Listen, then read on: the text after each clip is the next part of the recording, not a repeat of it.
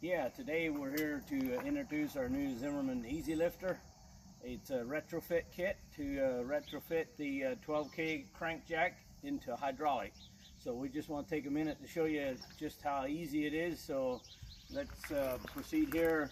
The first thing off, this is a 12K jack. This jack used to be a crank jack and now it's converted to hydraulic. And there you don't cut any paint, you don't have to weld anything you have to drill two holes in the face of the jack. You remove the uh, shaft, you remove the gears and the worm gear, and you replace it with a cylinder. The cylinder bolts in where the main shaft used to be, and at the bottom, your cylinder bolts through the existing holes that are there that were for the adjustment uh, for the drop leg, which you don't need to adjust no more, and, and it automatically turns into a, uh, to a hydraulic um, jack, and so it's just that simple.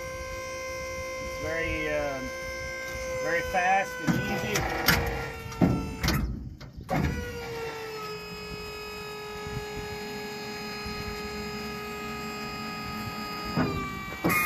It sure beats um, cranking a jack. This is uh, much faster and easier. It makes unhitching a trailer a pleasure. Thank you.